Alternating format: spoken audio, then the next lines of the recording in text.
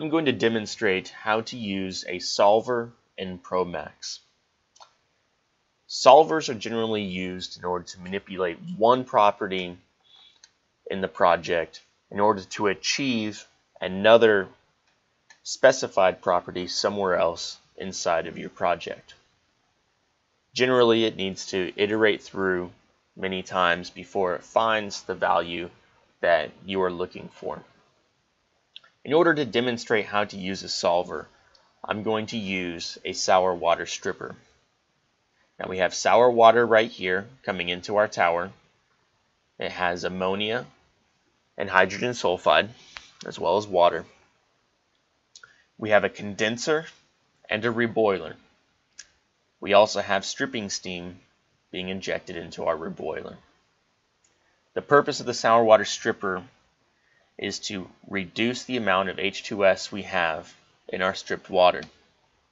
Currently, for this model, we have nearly 22 ppm of H2S. Now, we are trying to achieve 1 ppm of H2S in our stripped water. There are many ways to try to do that, but the way I want to demonstrate right now is by adding sulfuric acid into our column. This is 20% sulfuric acid. Now I'm adding in 0.5 standard gallons per minute. To execute my project. And then now I see that I have 0.08 ppm of H2S in my stripped water. So I'm putting in too much sulfuric acid. We're going to add a solver now in order to find the exact amount of sulfuric acid we need to add into our column so that we have exactly 1 ppm of H2S in our stripped water. So let's do that. I'm going to double click here on my sulfuric acid. I'm going to find my standard liquid volumetric flow, standard gallons per minute. I'm going to leave this 0.5 here. I'm not going to delete it. I'm going to right click on it then I'm going to go down to create simple solver. When you're looking at your solver, you have three areas. Right here is where you will write your expression. And down here, this is where our variables will be listed. Now the expression that we write needs to have the, vari the variables that it references here in the measured variables list. So let's go ahead and add a measured variable. The variable that we want to add is the H2S content in our stripped water. So let's find it. We have a basic tree diagram here. Starts with our project, then our flow sheet. The name of our flow sheet is water treating. It's the only option we have. Then we are interested in a process stream. And we're interested in our stripped water. And we are looking for the total phase. And we're looking for a composition, mass fraction, and H2S. So let's go ahead and name that H2S. You want to keep it nice and short and simple so that you can reference it in your expression very easily. And we want our units to be ppm.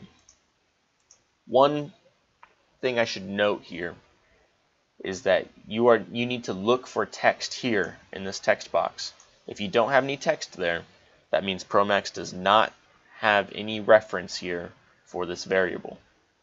It's important to have this text here because that shows you that Promax is referencing what you want it to reference. Now I'm going to click add.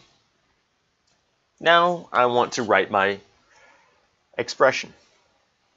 So anything you write here in this box needs to be equal to zero.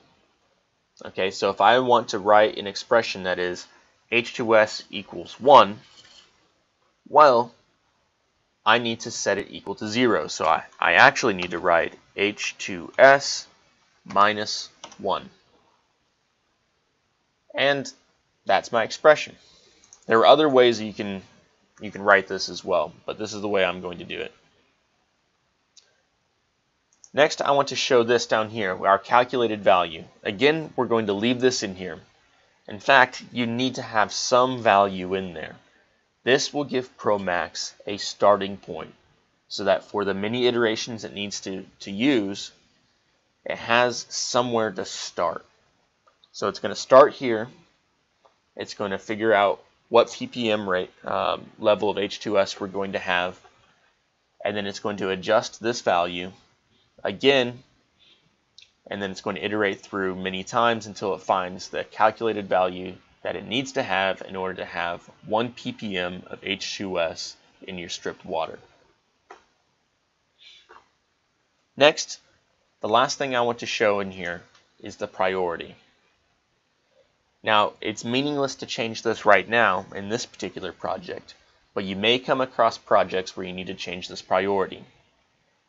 If later on you're working on a project that has many recycle blocks and many solvers, you'll want to look at your priorities, especially if it's taking a long time for your project to converge. The priority will show you which solvers will solve first. The higher the value you have in here for your priority means the higher priority that particular solver or recycle has in calculating. It only has to do with the order in which it solves that particular solver. It does not mean that one solver is more important than another solver. So I'm going to leave this as 0 for now. I'm going to close out of this box now. And now I'm going to execute my project. This will iterate through now, and it's changing the sulfuric acid rate right now in order to achieve the stripped water value. In fact, it's done now, and it has indeed achieved that 1 ppm down here in our hydrogen sulfide. So we have 0.999 ppm H2S in our stripped water. So that is how you use a solver in Promax.